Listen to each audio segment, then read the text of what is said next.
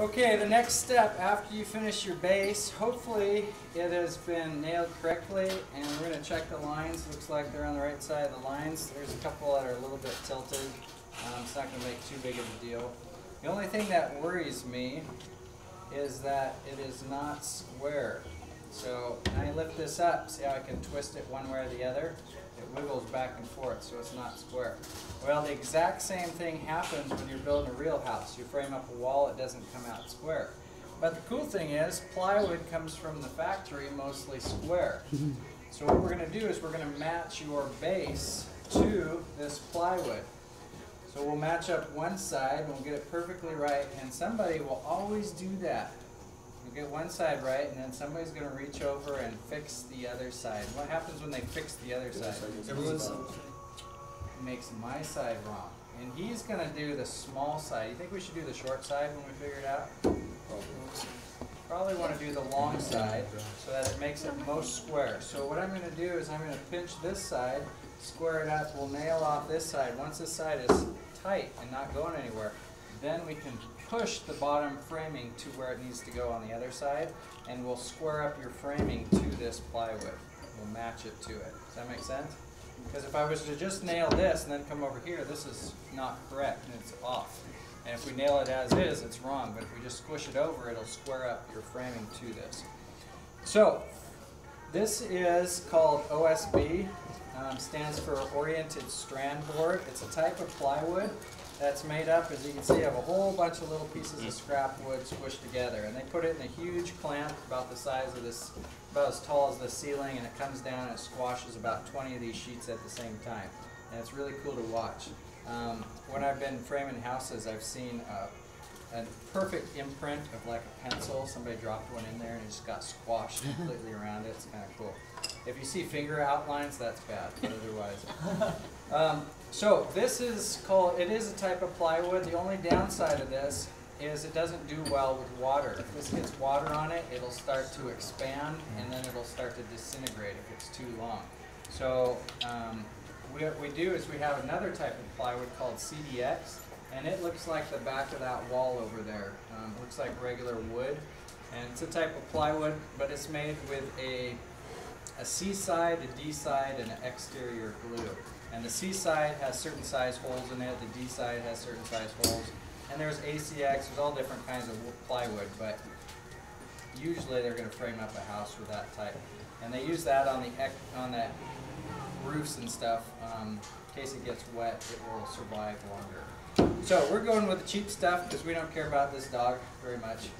And uh, so we're going to nail in this side. The first common mistake is everybody likes to go right to the corners and put a nail in right there. Why is that a problem? Because it's gonna not be straight.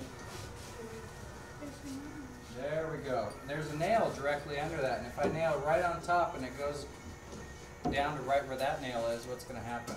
split. Yeah, it's going to make stuff, things. It's going to break. It's going to splinter probably. So what we're going to do is we don't want to nail directly above that.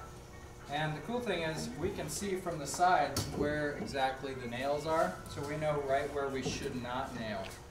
And for this doghouse, since we uh, don't have a, usually when we're in the field, it will, on the plan set, it will tell us how often we need to nail it. It will say six inches on edge and 12 inches in the field, which means I have to nail every 12 out here and six on the edge.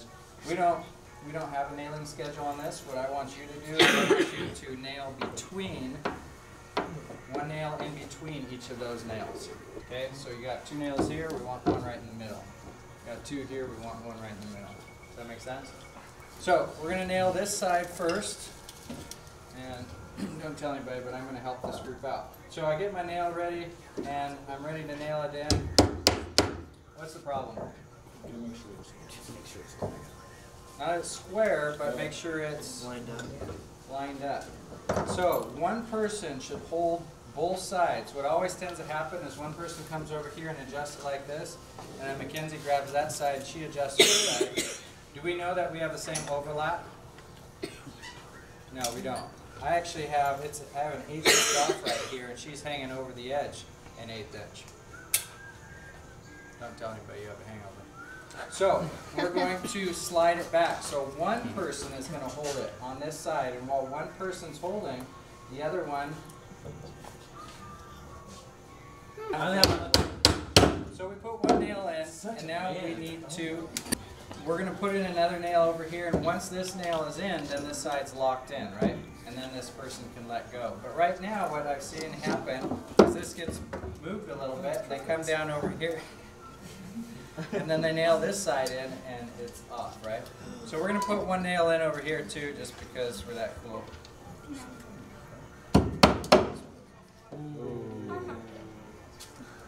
I, I made a mistake, but I wasn't gonna tell anybody. You know what the mistake is? That is incredible. I think there's a piece of metal in there.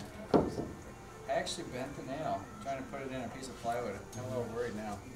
We're gonna pick a different one. We'll let, let one of you figure that one out. I think they put a piece of metal in there halfway. down. That's how it's supposed to go. Okay, so we have one of those in, and now what do we need to do?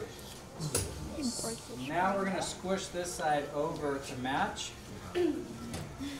And then we're gonna nail off that side. Now the next thing we need to do, after you've nailed off both sides, is we need to nail where the joists are underneath, right? And there's two ways to do that. If the chalk line is busy, you can just take a regular stick, line it up with the nails that are underneath.